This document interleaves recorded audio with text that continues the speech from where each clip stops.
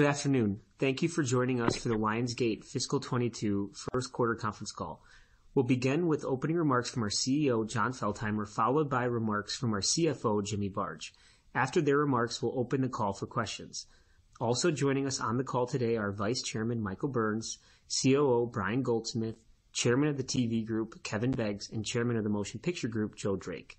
And from Starz, we have President and CEO Jeffrey Hirsch, CFO Scott MacDonald, President of Domestic Networks Alison Hoffman, and President of International Networks Superna Kalle. I'll now turn the call over to Jon. Thank you, Nilay, and good afternoon, everyone. Thank you for joining us. I'd like to begin with a few highlights from a strong financial quarter and then drill down in each of our businesses.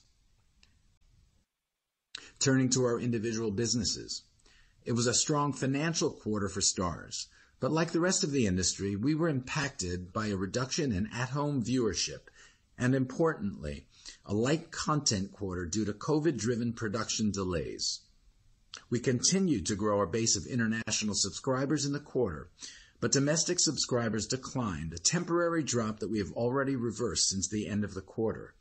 In fact, two weeks after the quarter ended, Power Book Raising Kanan debuted to the second-biggest Starz original series premiere ever, driving over 800,000 global subscriber gross ads in the first week alone and an 80% spike in viewership on the app. As a result, we are again growing our domestic over-the-top subscriber base, which is already back to the March quarter's record levels. And with our biggest and strongest Starz original series slate ever this year, with 12 scripted series compared to seven last year and a building cadence of five tentpole series over the next three quarters, we continue to expect Starz global subscriber growth this year to outpace subscriber growth last year. Our confidence is buttressed by a very strong slate that, following Raising Kanan, includes wrestling drama Heels, starring Stephen Amell and Alexander Ludwig, getting great early reviews. The second season of the hit series Power Book II: Ghost, the sixth season a fan favorite Outlander, Curtis "50 Cent Jackson's crime family drama BMF, the horror comedy Shining Vale starring Courteney Cox, and the debut of Power Book IV: Force.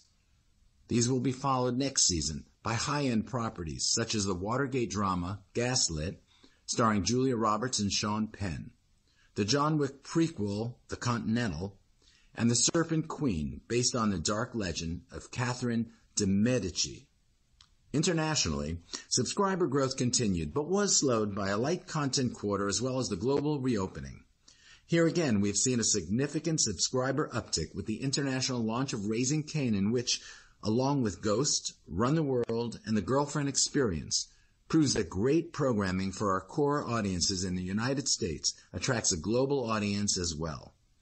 Combined with Lionsgate feature films and library titles that are driving our theatrical content offering and best-in-class third-party acquisitions of The Great, Gangs of London, and the international premiere of Dr. Death later this quarter, our best of global SVOD programming continues to set us apart as a home for original, adult, fiercely premium content, complementary to every platform and a compelling value proposition for every bundle.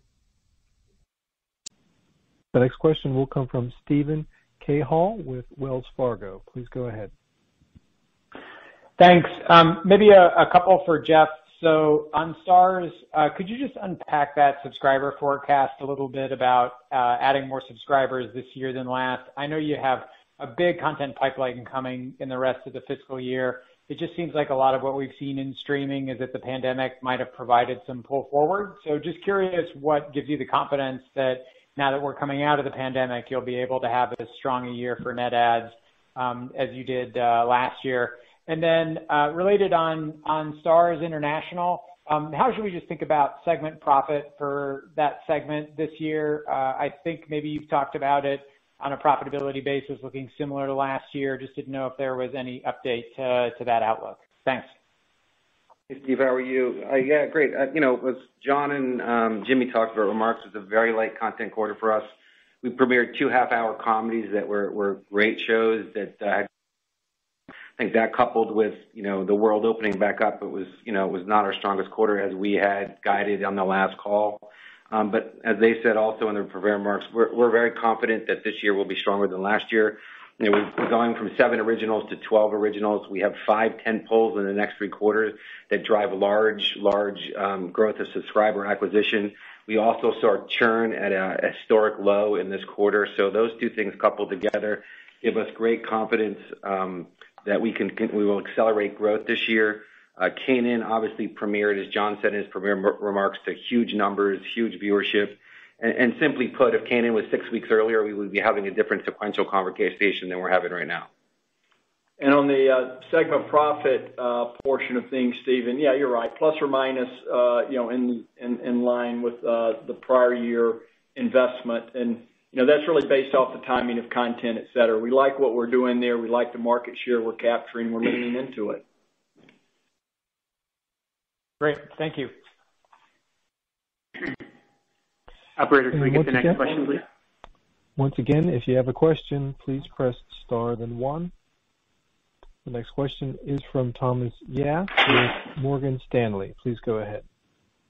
Thanks. Thanks for taking my questions. Uh, two quick ones for Jeff. On Starz ARPU, the domestic ARPU appeared to be relatively stable sequentially with last quarter, which is a little lower than the historical trend. I think you had cited some heavier promotional activity happening then.